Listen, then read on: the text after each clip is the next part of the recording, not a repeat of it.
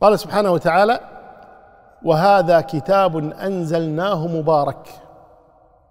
وهذا كتاب القرآن الكريم. أنزلناه أي أن الكتب كلها نزلت من عند الله تبارك وتعالى. والصحيح الذي عليه جماهير أهل العلم أن جميع الكتب هي كلام الله. التوراة والإنجيل والزبور والصحف والقرآن. والكتب التي لم يذكرها الله لنا سبحانه وتعالى ولكننا نؤمن بها كما قال الله جل وعلا آمن الرسول بما أنزل إليه من ربه والمؤمنون كل آمن بالله وملائكته وكتبه. نؤمن بجميع الكتب. وكل هذه الكتب هي كلام الله سبحانه وتعالى. الله جل وعلا هنا يقول وهذا كتاب أي هذا القرآن الكريم كتاب أنزلناه مبارك. مبارك أي كثير البركة. مليء بالبركة كله بركة. بركة لقارئه إذ ينال من الحسنات الشيء العظيم. بركة لسامعه بركة لمتعلمه بركة لمن يعمل به. فهو بركة من كل وجه هذا الكتاب العظيم. مبارك. وقال الله تبارك وتعالى وهذا كتاب أنزلناه إليك مبارك كتاب أنزلناه إليك مبارك ليدبروا آياته وليتذكروا الألباب. وقال سبحانه وتعالى وهذا كتاب أنزلناه مبارك فاتبعوه واتقوا لعلكم ترحمون. وهنا قال كتاب أنزلناه آه، قال هنا وهذا كتاب أنزلناه مبارك مصدق الذي بين يديه. الآن ذكر ثلاث صفات لهذا الكتاب.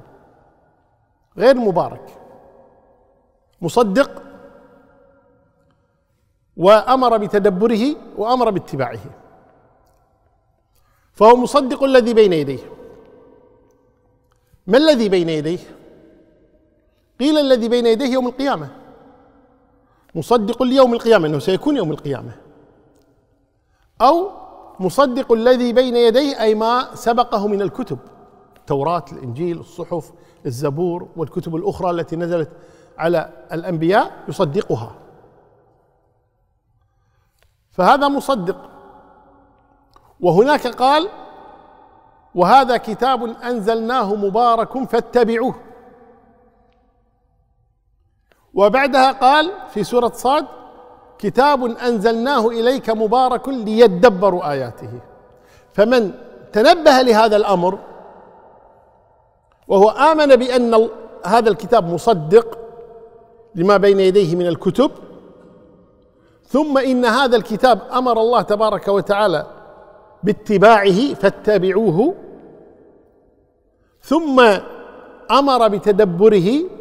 هذا كتاب أنزلناه إليك كتاب أنزلناه إليك مبارك ليدبروا آياته فسيجد السعادة كلها. سيجد السعادة. عندما يحرص على تدبر هذا الكتاب وعلى اتباع هذا الكتاب وعلى الإيمان بكل ما جاء فيه أو به هذا الكتاب العظيم. وهذا كتاب أنزلناه مبارك مصدق الذي بين يديه. قلنا مصدق الذي بين يديه إما يوم القيامة وإما الكتب السابقة. طيب كيف يصدق الكتب السابقة؟ قالوا يصدق الكتب السابقة إما بأنه يقول نعم هؤلاء أنبياء وهذه الكتب التي جاءوا بها حق. فيصدق أن التوراة حق وأن الإنجيل حق وأن الصحف حق وأن الزبور حق من عند الله تبارك وتعالى وأن الأنبياء الذي جاءوا الذين جاءوا وقالوا هذه كتب الله ونحن رسل الله يصدقهم بهذا كله.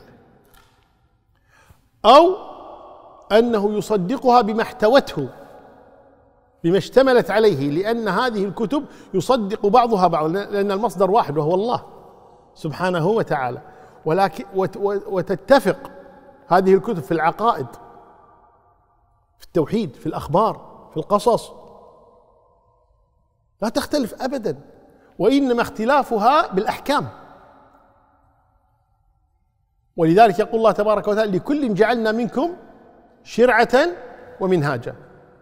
فما كان مباحا في زمن قد يحرم في زمن. ولذلك قال عيسى عليه الصلاة والسلام ومصدقا لما بين يدي من التوراة ولأحل لكم بعض الذي حرم عليكم. في زمن آدم عليه الصلاة والسلام ما في إلا آدم وحواء. كيف جاء هذا النسل؟ لا شك أن الأخ تزوج أخته. في شريعتنا لا يجوز أن يتزوج الأخ أخته. تغيرت الشريعة. في زمن يعقوب إن صحت الرواية وهو المشهور أن يعقوب تزوج أختين. في شريعتنا لا يجوز أن يجمع بين الأخت وأن تجمع بين الأختين إلا ما قد سلف. وعلى الذين هادوا حرمنا كل ذي ظفر.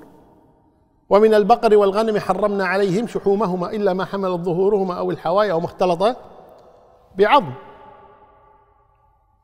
كل الطعام كان حلا لبني إسرائيل إلا ما حرم إسرائيل على نفسه من قبل أن تنزل التوراة. الآن اختلف. أبيح.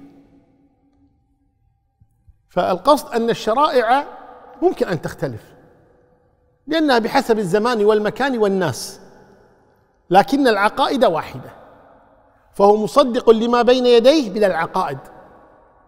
كل ما جاء به موسى من العقيدة لا يخالف ما جاء به عيسى وما جاء به يونس وما جاء به إبراهيم وما جاء به داود وزكريا ومحمد ونوح وهود وصالح صلوات ربي وسلامه عليهم أجمعين.